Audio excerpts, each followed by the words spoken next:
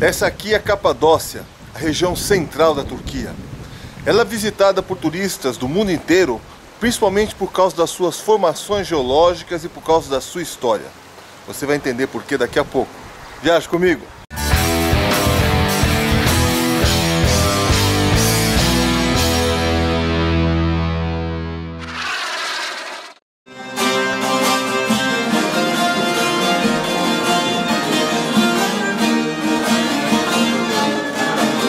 Muito tempo atrás, a erupção de vários vulcões cobriu toda a Capadócia com uma camada de cinzas que em alguns lugares chega a ter 500 metros de profundidade. Com o passar do tempo, essa camada, esse material começou a sofrer erosão da água, da chuva, da neve e começou a transformar a paisagem. O resultado desse trabalho da natureza você vê aqui, na formação de cones, castelos e minaretes. Essa é a Capadócia.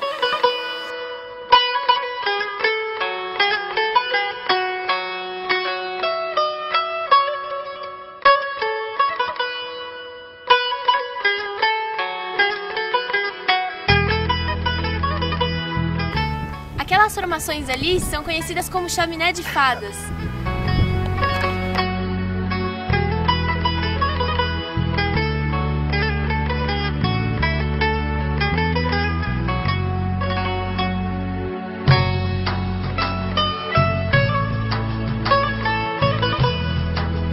Aqui dá para perceber exatamente como foram formadas as chaminés de fadas.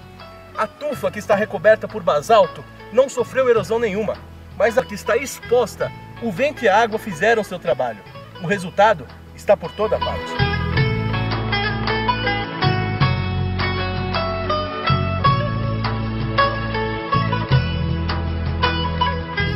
Não demorou muito para os antigos habitantes descobrirem que o tufo poderia ser facilmente escavado.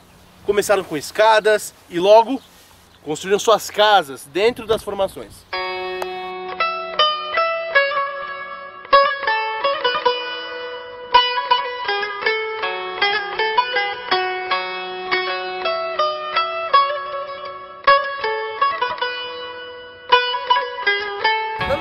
Uma casa típica de alguém que mora aqui na Capadócia.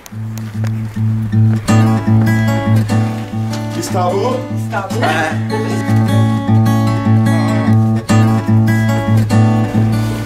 Hello, hello.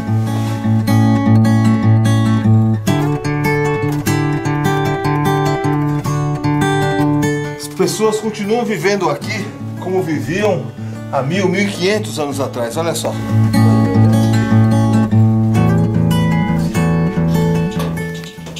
Casa aqui tem seis pisos. Parece ser bem grande, viu? E bem alta também.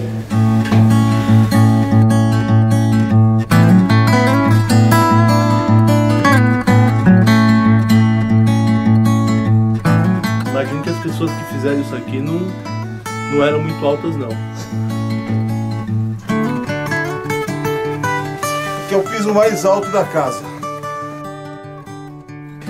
Olha a vista dali, dá uma olhada. Como a maioria das construções aqui na Capadócia, muitos hotéis também são escavados na montanha, como esse aqui, o CCR.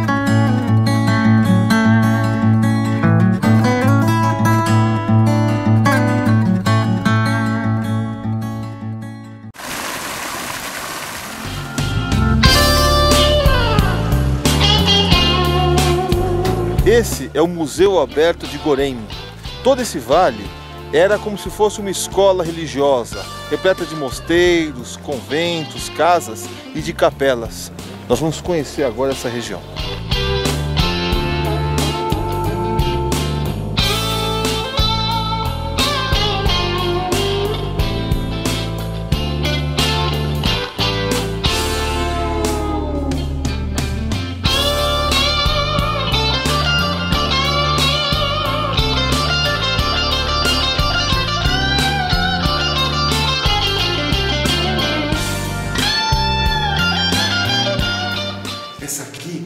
Igreja Escura, a igreja que tem os afrescos mais bem preservados no Museu Aberto de Gorém. Dá só uma olhada.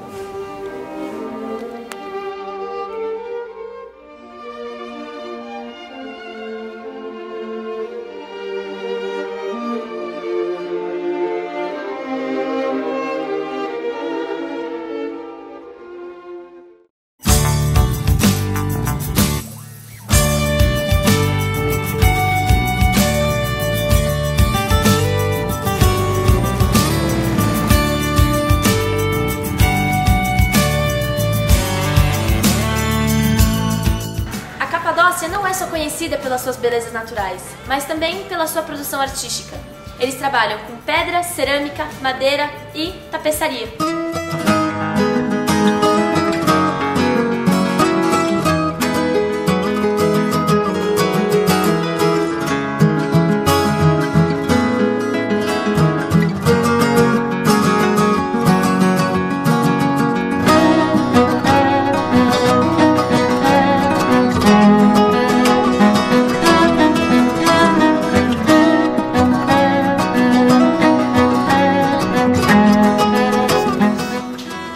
Fábrica, todos os tapetes são feitos à mão. Existem três tipos: lã sobre lã, algodão e lã e a pura seda. Um tapete turco, como esse aqui atrás de mim, pode custar 5 mil euros.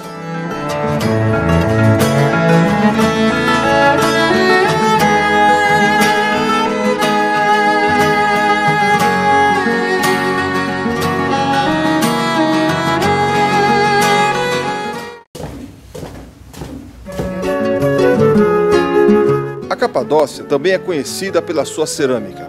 O renomado mestre Ches Galip produz peças de fama mundial, muitas delas inspiradas em desenhos de civilizações antigas e motivos islâmicos.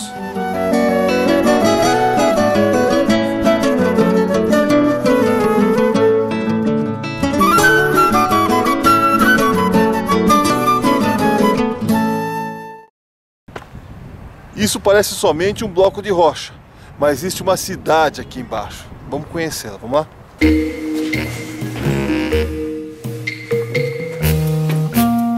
As cidades subterrâneas da Capadócia começaram a ser escavadas há vários séculos e durante centenas de anos serviram como abrigo para os cristãos da região.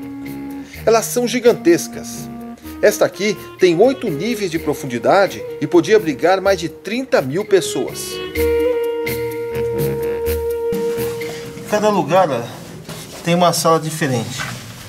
Conforme a gente vai andando, a gente vai descobrindo toda a cidade aqui embaixo. Olha, salas, quartos, armazéns.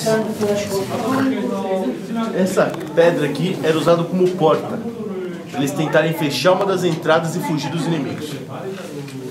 Apesar de estarmos a muitos metros de profundidade, o ar aqui é completamente fresco.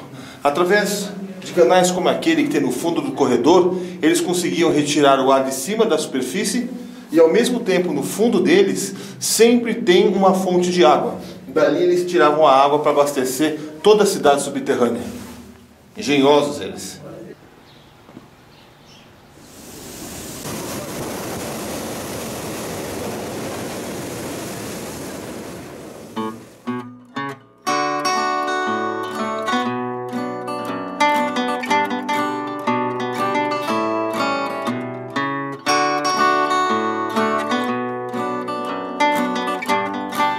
Essa é uma das melhores maneiras de você conhecer a Capadócia, voando de balão.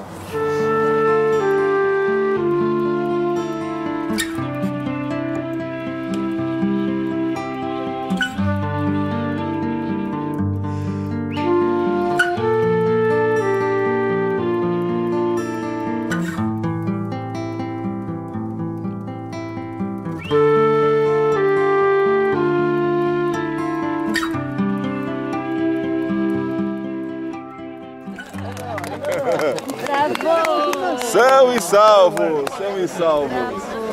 E aí, gostou do passeio de balão? Gostou da Turquia? Gostou da Capadócia? Eu recomendo ficar pelo menos dois dias nesse lugar. É um lugar fantástico. Para saber mais sobre a Capadócia, entre no site da Gold Trip, aí embaixo. Você vai ver muitas dicas de viagem. Espero você na próxima viagem. Viaje comigo!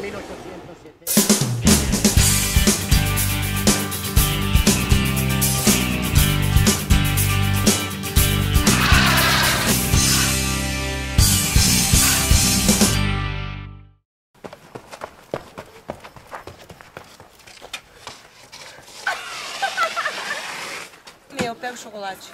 Eu quero o sabor. Ah, Ai, gente. que é esse? Esse, obrigado, Obrigado. sorvete.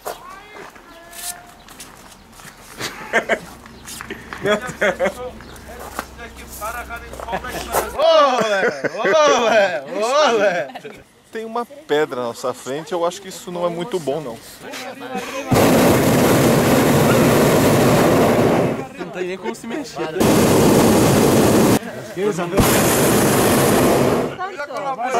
Ele tava só brincando.